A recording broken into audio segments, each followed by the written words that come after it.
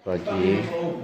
Eh, sekarang ini kami berada di Kecamatan Bunaken guna meliput. Perhitungan suara dari presiden sampai ke legislatif tingkat kota. Dan sekarang ini sudah berada pada pukul 4.30 dan sekarang masih berlangsung perhitungan dan sampai saat ini pun baik KPPK maupun Panwas masih setia dan tetap melakukan perhitungan yang juga bersama-sama ada saksi dari partai yang tetap setia untuk mendampingi pelaksanaan perhitungan rekapitulasi suara. Dan kita lihat keadaan dari masing-masing saksi dan pada akhirnya sebentar nanti akan melakukan menandatangani hasil rekapan suara yang akan ditandatangani oleh wakil-wakil saksi partai.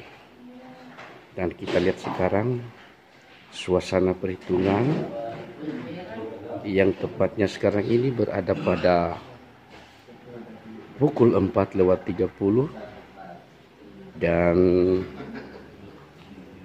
kita lihat para panitia masih tetap aktif melakukan perhitungan. Dan ini adalah panwas yang mungkin sudah dengan wajah yang lesu yang masih tetap setia mengikuti perhitungan suara pengungutan dan rekapitulasi. Kita lihat salah satu saksi dari Gerindra yang masih tetap dengan semangat mengikuti perhitungan uh, samping menyalin hasil perhitungan rekapitulasi suara dan di samping kita kelihatan ketua PPK yang sudah capek kecapean beserta saksi dari PDIP sudah terkulai tidur. Inilah suasana uh, perhitungan.